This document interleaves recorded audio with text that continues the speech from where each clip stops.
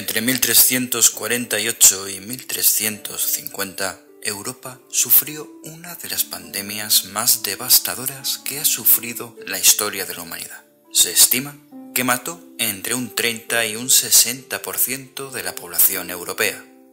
Se cree que su origen comenzaría en China, donde viajó esta a lo largo de la llamada Ruta de la Seda, llegando a Crimea en 1346. Hoy hablaré de la peste negra.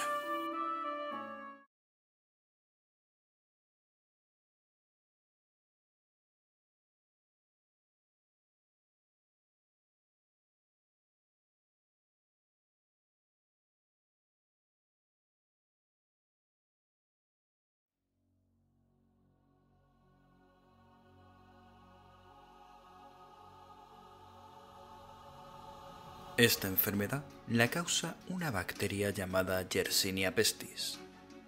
Las ratas son las portadoras de esta enfermedad y se propaga por medio de las pulgas. Esta bacteria sería descubierta por Alexandre Emil John Yersin y por Kita Sato Shibasaburo.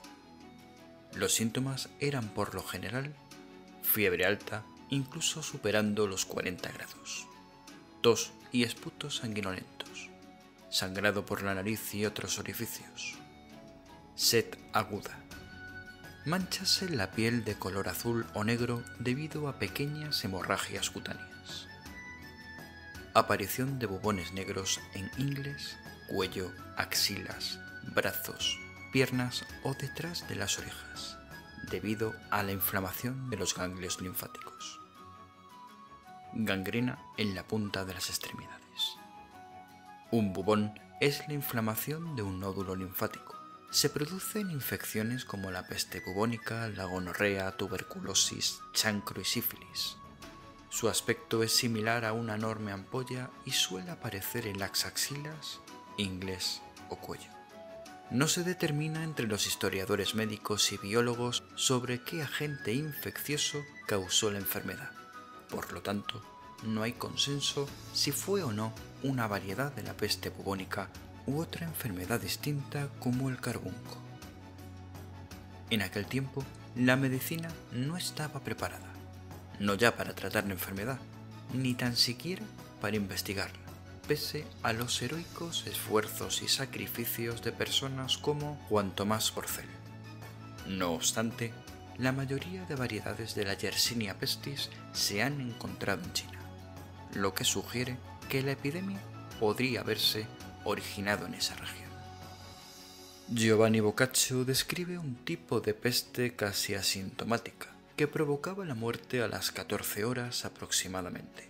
El calificativo negra se debe a las manchas, bubones y al aspecto producido por la gangrena en los dedos de manos y pies. El término de mal olor que posee la palabra peste la dieron los hedores emanados al romperse los bubones o, como dije antes, los ganglios linfáticos inflamados. Según varios testimonios, dichos bubones o manchas negras terminaba con la muerte del paciente en la inmensa mayoría de los casos. Desde notar los primeros síntomas hasta producirse la defunción, pasaban cinco días habitualmente.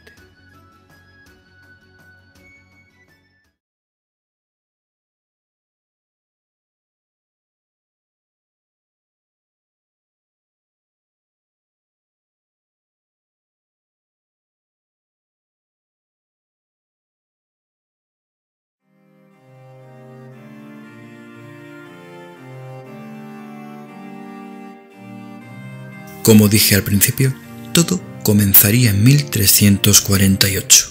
La pandemia se inició en Asia para después llegar a Europa a través de las rutas comerciales. Introducida por los marinos, la epidemia dio comienzo al sur de Italia en la ciudad de Messina. Algunas áreas quedaron despobladas y otras estuvieron libres de la enfermedad o solo fueron ligeramente afectadas. La gente vivió una época de gran horror debido a la peste negra, tal y como se refleja en diferentes textos, por ejemplo en la de un cronista florentino que cuenta. Todos los ciudadanos hacían poco más que cargar cadáveres para que fueran enterrados. En cada iglesia cavaban profundas fosas hasta la capa freática, y así aquellos que eran pobres y morían durante la noche eran recogidos rápidamente y arrojados a la fosa. Por la mañana, cuando un gran número de cuerpos se hallaba en la fosa, tomaban un poco de tierra y la echaban con palas sobre ellos. Más tarde, otros cadáveres eran depositados sobre ellos y entonces ponían otra capa de tierra.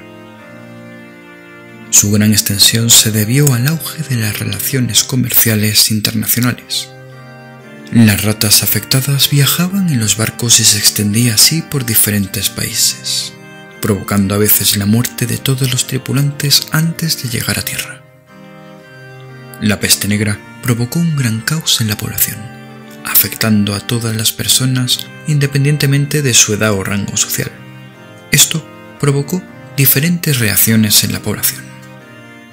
Unos se entregaron más a Dios al pensar que éste les castigaba por un mal comportamiento de la humanidad, y muchos otros huían. Sin embargo, solían llevar consigo en su ropa su equipaje la pulga portadora de la enfermedad, por lo que contribuían a su propagación.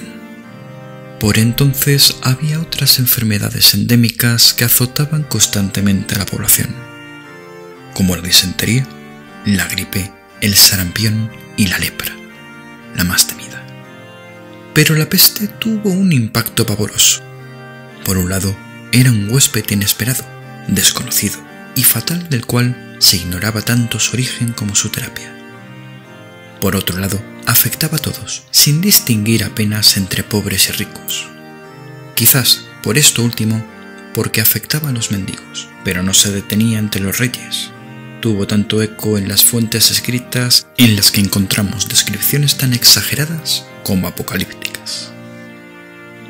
La bacteria atacaba a los hogares durante un periodo de entre 16 y 23 días, antes de que se manifestaran los primeros síntomas de la enfermedad.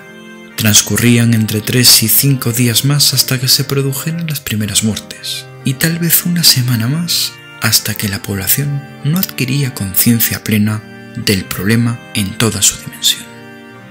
La enfermedad se manifestaba en las ingles, axilas o cuello, con la inflamación de alguno de los nódulos del sistema linfático, acompañado de supuraciones y fiebres altas que provocaban en los enfermos escalofríos, espasmos y delirio.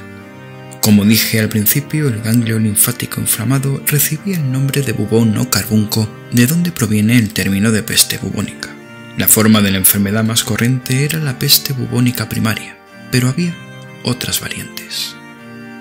La peste septicémica, en la cual el contagio pasaba al torrente sanguíneo, lo que se manifestaba en forma de visibles manchas oscuras en la piel y de ahí el nombre de muerte negra.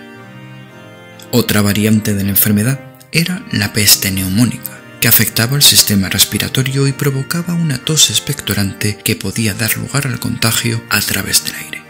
La peste septicémica y la peste neumónica no dejaba supervivir.